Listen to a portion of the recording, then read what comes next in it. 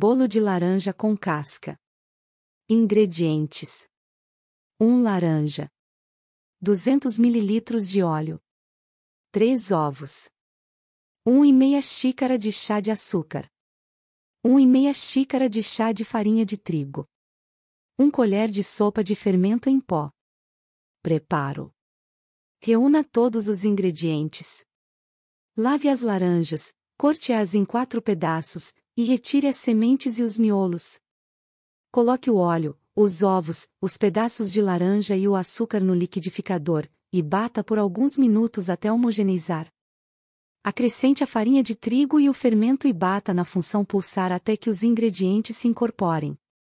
Transfira a massa para uma forma com furo no meio untada e leve-a ao forno pré-aquecido a centésimo octogésimo graus por cerca de 30 minutos a 60 minutos, ou até que o bolo asse completamente. Agora é só servir. Bom apetite!